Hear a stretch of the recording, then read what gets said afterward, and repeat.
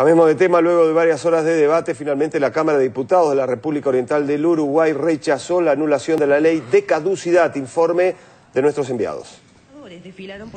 Fue un tenso debate que se extendió por más de 14 horas, desde pasadas las 15 de ayer hasta las 5 y 30 de la madrugada de hoy. Tal como se preveía, la votación de 49 por sobre 98 diputados resultó un empate con lo cual fracasó el intento por anular la ley de caducidad en Uruguay. Esta mañana todos los diarios reflejaron con grandes titulares lo sucedido en la Cámara de Diputados, mientras en la calle la gente opinaba. Eh, mi opinión es que la ley es inmoral, pero no se pueden desconocer dos plebiscitos que, fue que consagró la gente. Eso hay que reverlo de alguna forma. creo que está bien, creo que ya el pueblo decidió dos veces, basta de seguir insistiendo con el mismo tema. Es cuestión de pensar hacia adelante.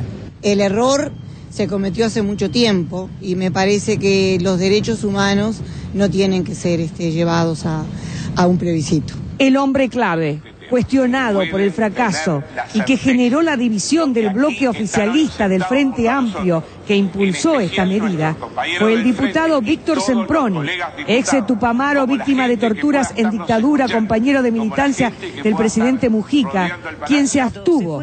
Hizo un discurso donde fundamentó por qué no apoyaba la decisión del Frente Amplio. Señaló que lo hacía por respeto a la ciudadanía que había ratificado en dos plebiscitos la polémica ley de caducidad. Si bien yo no comparto porque discrepo con el resultado de las consultas populares que se hicieron, porque creo que las dos están viciadas de cierta legitimidad, que no es lo mismo decir que legalidad. Fueron legales, pero las considero ilegítimas en función de los procedimientos que se utilizaron. Fundamentalmente la segunda, donde hubo un pronunciamiento popular, pero se votó solo con una papeleta. Y, como ese, esa papeleta, que era la que proponía anular la ley de caducidad, no tuvo mayoría, se descarta, pero hay una interpretación de que los que no la votaron están de acuerdo en que la ley quede. Y la diferencia fue muy chica, apenas de cuatro puntos. Por consiguiente, yo tengo mis dudas de que dentro de ese 52 que no la votó, haya una mayoría superior al 48 de aquellos que querían que esta ley nefasta, inconstitucional, atentatoria y oprobiosa para el sistema legal uruguayo, que entendemos que hay que borrarla, eh, bueno, eh, haya quedado vigente. Tras fracasar aquí en el Congreso, en Montevideo, la anulación de la ley de caducidad, el tema de la violación de los derechos humanos durante la dictadura militar en Uruguay pasó al terreno político, según opinión de algunos. Los derechos humanos se politizan, se deslegitiman. La política es el arte de la negociación y los derechos humanos no se negocian. Entonces no hay nada que negociar.